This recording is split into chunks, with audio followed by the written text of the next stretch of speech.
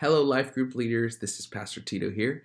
Just wanted to share uh, just a short leadership training for you guys. Um, I, I was speaking with Miss Yvonne and with uh, Miss Jackie, and they just shared that um, it would be really helpful to have some practical tools for our life group leaders just to help kind of do some training on the fly and on the go. So just wanted to share some thoughts.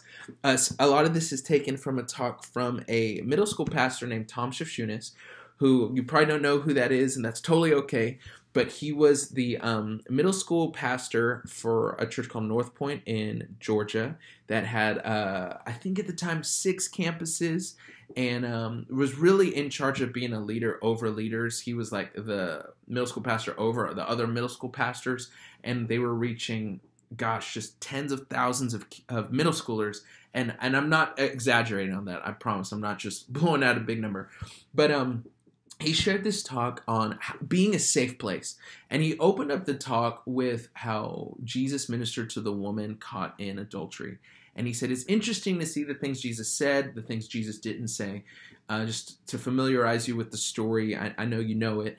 Uh, here's this woman, she was caught in the act of adultery. The Jewish religious leaders brought her out and said, Hey, Jesus, we're going to stone this woman. Okay, Bible says so. So what do you think about that? what do you think about those apples? And then Jesus said, Jesus stopped and and uh, in Jesus's wise, you know, fully God, fully man way, um, asked just a brilliant question, and Jesus was just so good at this kind of thing, and he's like, okay, well, how about the one who's never sinned cast the first stone, uh, and and so of course, of course, as they thought about it and were convicted, they realized, well, that's definitely not me, and they they realized what Jesus was trying to do. Jesus was giving them a lesson about grace, and so Jesus confronts the woman and has a conversation with her. And there's a lot of things he could have said. A lot of, he, jesus could have went into how she was ruining this man's family by uh, committing adultery with him. Jesus could have gone into how she's harming herself by doing these things i mean so many ways jesus could have gone into you know how you're being a bad example to other girls i mean jesus could have really done a lot a lot um, but jesus said did anyone condemn you and she said no and then Jesus does something. He gives her this, administers this grace. He says, Well, neither do I. And then Jesus does something brilliant that I think uh, I, this is an area where sometimes we fall short. Is Jesus gives her grace, but Jesus also hands her a lot of lot of truth. In a very short statement, he says, "Well, then go and sin no more." In other words, Jesus didn't say, "Hey, hun, what you did wasn't even bad. Like, gosh, love is love. Like, it doesn't matter." Jesus was honest with her about her situation. He said, You're sinning and you need to stop. Uh, and if you think about it, we deal with similar situations when we deal with students um, who come up to us and they're going through something and they want they, they share something real heavy, and they're we have to administer grace. Hey, Jesus still loves you. God still loves you. I still care about you. I don't think less of you for sharing the secret with me. I, I, I all those kind of things. We share grace. But at the same time, we have to share that truth as well. Uh, if you have a student who comes up to you and, and they confess that, man, I've been cutting or I've been doing this, then you have to be able to say, well, you need to stop. Like that can that that can really hurt you, and I want better for you, and God wants better for you. So you need to stop, and that's what Jesus did. And um, as we think about this question, uh, or sorry, as we think about this, here's a question: How safe do we want to be as a life group leader? How honest can your students be with you? How much can they open up to you? And, and what have they opened up to you about? And in his talk, Tom talked about how there's kind of these different levels of safety that most students have. For instance, confessing that they cheated on a test.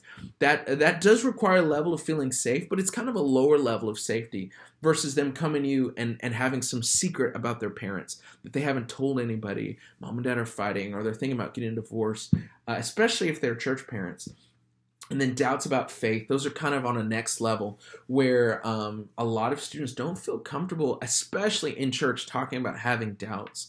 But if you can be a safe place for them where they can process those things i cannot even begin to tell you how beneficial that is for the development of a child's faith. And then pornography. When a student comes up to you and, and confesses that they've been looking at pornography that that's one of the most jarring things for a student to feel safe enough to talk about that and then self-harm and then sexual identity. Those are all these huge areas especially in our climate um, in uh, where we are in youth culture. And so I just wanted to ask this question and and just bring up a point that when when we have a secret we're constantly calculating how safe people are. We're constantly calculating people from the safest to the least safe. And let me just be honest with you your students are doing the same thing.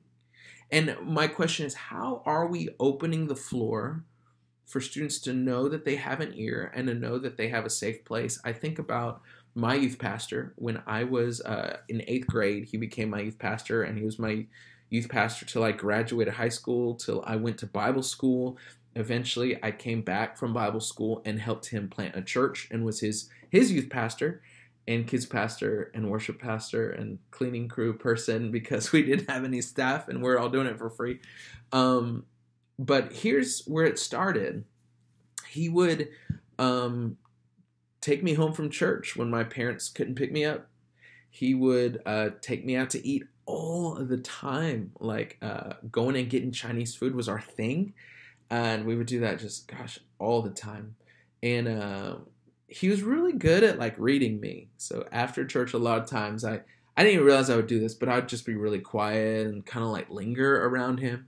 And he's like hey tido do you need to talk? And, and and we would talk. And he would he always seemed to have space in in his life even after a really busy youth service and all the things that we would do. And um and I want you to think about who are the people in your life that are the safest for you. The people in your life that you that you know you could tell anything to and what is it about them that makes them feel so open and inviting. I know sometimes we as leaders can look really really busy and so our students or those who we work with feel like they can't approach us. I know that's an area I'm always working at. Um, at least appearing less busy so that um, people feel comfortable taking uh, the time and just having the conversations. Uh, I think sometimes what we allow to happen in, in our life groups, if there's too much ribbing back and forth, or the the group doesn't feel like a safe place, or or it's too big, and there's just too many kids in our group, and and we're not able to have conversation, or if we're never connecting with a student outside of the the set life group time, those are all ways where we can be intentional about creating a safer place. And let me say, if you're hearing this, thank you so much for all that you're doing in uh, the in the ministries that we're doing uh, between middle school students, between high school students, between young adults. Um, gosh, I'm just so grateful for you, and you don't hear it enough, and I don't I don't say it enough, but I just have to let you know how grateful I am for you in this crazy, crazy busy season where there's so many irons on the fire, and you just have to know like you are our our first um gosh our front line. You're our front level of defense. You're doing the the boots on the ground hands-on ministry working with students working with young adults working with high schoolers working with middle schoolers. And i'm just so grateful for you sticking it out in this season.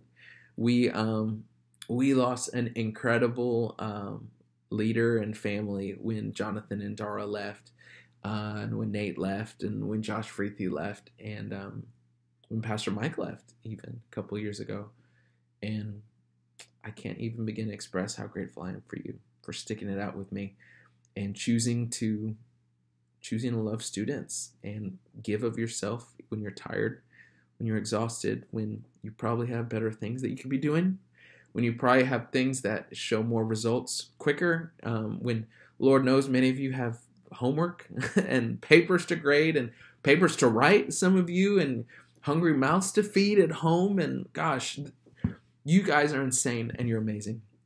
And I just want to say thank you. So I hope this training helps. Uh, periodically, we'll do some things like this. Uh, today was about being a safe place, and uh, hopefully, this is benefit to you. Love you guys.